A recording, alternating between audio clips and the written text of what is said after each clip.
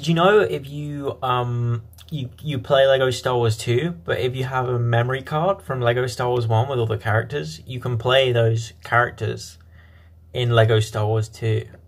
Isn't that crazy? Isn't that wild? Did you know that? Wait, you do now.